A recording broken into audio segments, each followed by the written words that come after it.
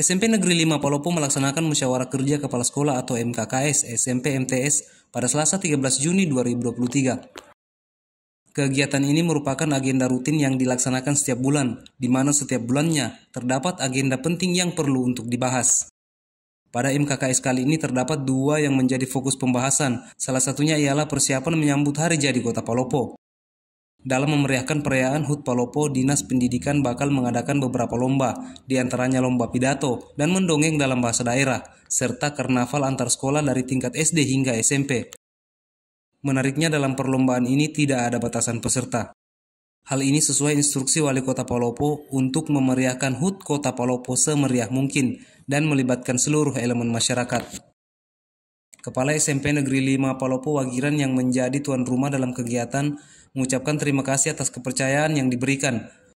Ia menegaskan komitmennya untuk memberikan yang terbaik sebagai penyelenggara agar kegiatan MKKS dapat berjalan dengan lancar. Tentu kami selaku penyelenggara harus memberikan yang terbaik buat tamu-tamu kami untuk kegiatan ini supaya bisa berjalan lancar dan tercapai tujuannya. Sementara itu, Kepala SMP Negeri 1 Polopo Suryadi Rahmat yang juga hadir dalam MKKS mengungkapkan Harapan yang sama agar kegiatan ini dapat terus berjalan.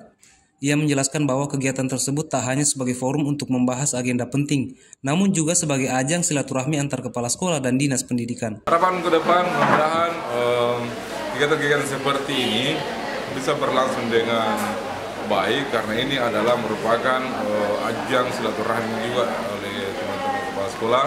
Uh, begitupun dengan pihak sekolah dengan uh, birokrat dinas pendidikan Kota Palopo dalam acara tersebut turut hadir Kepala Dinas Pendidikan Asnita Darwis yang memberi dukungan serta arahan kepada para kepala sekolah dalam menjalankan tugas dan tanggung jawab dalam dunia pendidikan. Nada Gabrielia mengabarkan untuk Koran Seruya, Seruya TV.